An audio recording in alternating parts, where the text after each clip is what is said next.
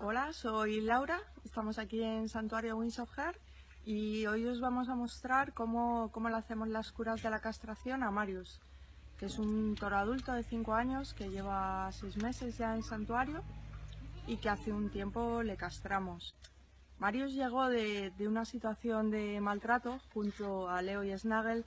El caso que vivieron es, es un caso bastante fuerte porque de hecho en el Estado español muchas pocas veces se, consigue el, decomiso por parte del juzgado de, de, los animales, sobre todo si son de granja, por parte del juzgado. Y en su caso sufrían una situación de maltrato y tortura bastante grande. Cuando la policía llegó allí estaba la persona que los tenía, eh, los estaba dejando morir de hambre y había un caballo descuartizado colgado en la finca. Leo, Marius Snagel cuando llegaron estaban en pésimas condiciones, estaban los tres desnutridos, o sea, los estaban dejando morir de hambre. Y sobre todo, eh, a nivel psicológico, estaban muy mal los tres. Eh, Snagel, que es la cabra, en este caso macho, era violento con nosotros. Eh, Leo tenía mucho miedo y Marius era un toro de 5 de cinco años y mil kilos, que también por haber vivido una situación de miedo, cierta manera su miedo lo expresaba defendiéndose de nosotros. Y nosotros ya sabíamos que teníamos que hacer un gran trabajo para que Marius olvidara su miedo, pudiera disfrutar de su vida y sobre todo eh, pudiéramos eh, cuidar de él, que él nos permitiera cuidar de él y toda esa violencia que tenía hacia nosotros se le, le pasara, se le olvidara. En el vídeo os vamos a explicar cómo eh, Marius sale de su recinto. Como Marius ha pasado tanta hambre, cuando ve un cubo de comida, pues allá va. Da igual, donde vayamos, allá va. Entonces nosotros lo que hacemos es utilizar la comida para que la experiencia que está pasando Marius sea una experiencia positiva. Él no come mucho pienso porque es un rumiante, tiene que alimentarse a base de otras cosas, de forraje, de hierba y el pienso es como un premio. Nosotros le ofrecemos pienso cuando, cuando le tenemos que hacer una cura o cuando está con nosotros para que vea que nosotros somos sus amigos y que no tiene nada que temer. En el vídeo os vamos a mostrar cómo, cómo hacemos cuando le hacemos la cura a Marius. Primero intentamos siempre en el santuario, nunca trabajamos en negativo, nunca se le dice un no a un animal, nunca se le empuja, nunca nada. Intentamos que todos sean experiencias positivas. Nosotros estamos aquí para cuidar de ellos, estamos para... son nuestros jefes, nosotros trabajamos de manera voluntaria para devolverles la confianza en el mundo. Entonces, cualquier experiencia, aunque sea una cura, una castración, aunque sea un pinchazo porque están malitos, ellos tienen que sacar algo bueno y decir, pues no está tan mal, estamos bien.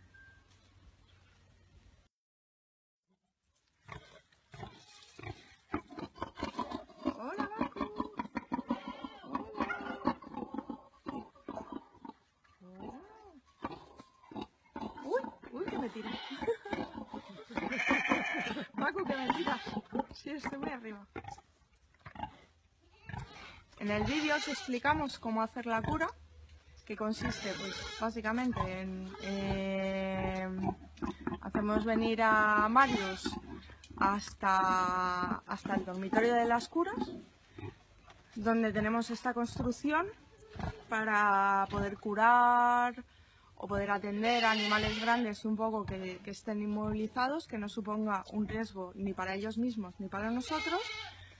Entonces mostramos cómo le lavamos la herida con, con una manguera, con agua fría, por dos cosas. Primero porque el agua limpia y el agua fría eh, es el mejor desinflamante que hay porque les alivia, deja la, activa la circulación y es positivo para ellos.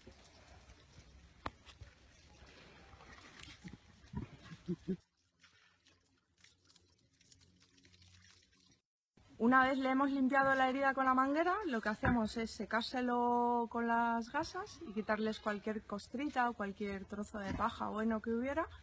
Y entonces lo que hacemos es echarle dos sprays. Un spray que es el que podéis ver en el vídeo, que es un spray azul que lleva antibiótico, que es un antibiótico tópico.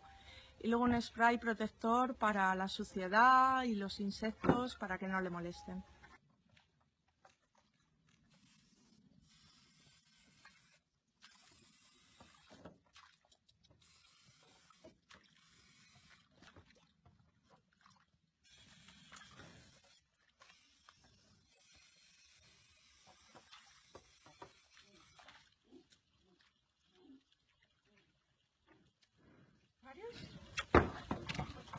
Atrás, atrás, atrás.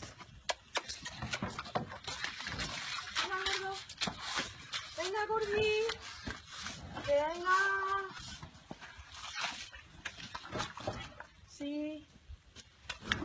Aquí. Ahí, aquí, aquí. Ahí. Al final del vídeo lo que podéis ver es cómo eh, aprovechamos, y ya que hemos traído a Marius, los animales, ya que vivimos en el campo, los animales pues eh, hay que desparasitarlos con frecuencia y más cuando hace calor. Entonces le estamos poniendo un desparasitante porón, que es igual que la pipeta que le podemos poner a un perro o un gato, y aprovechamos para hacer algo que a casi todas las vacas y toros les gusta mucho y que ayuda mucho a que puedan confiar en la gente y les podamos eh, transmitir experiencias positivas, que es eh, cepillarles, es el contacto. Entre ellos muchas veces se, lamen con fuerza, entonces que nosotros le cepillamos a él es como eres una parte de nuestra familia y de hecho en el, vídeo podéis ver cómo él en el momento que lo estamos cepillando se pone, se pone a lamer la manga porque no tiene la suficiente confianza para lamernos a nosotros, pero sí que es una muestra de confianza por su parte para nosotros también.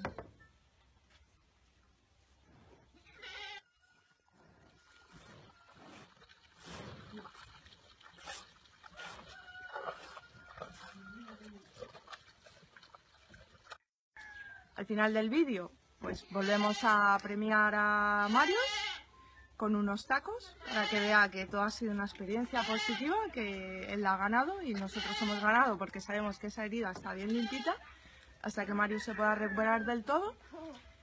Entonces lo que vuelve es a su sitio, es a su parque de cuarentena, donde está hasta que esté completamente curado y pueda juntarse con el resto de vacas y toros. Eh, Marius se, se pone muy muy contento cuando sale de ahí ve un cubo lleno de comida, se pone muy contento, lo que hace es correr hacia el cubo y Edu pues tiene que tirar el cubo por los aires porque los Marius pesan mil kilos y como os hemos dicho antes pues es todo positivo y si ellos quieren el cubo pues no nos vamos a pelear con ellos, se come el cubo, nos esperamos tranquilamente y se vuelve a empezar desde cero.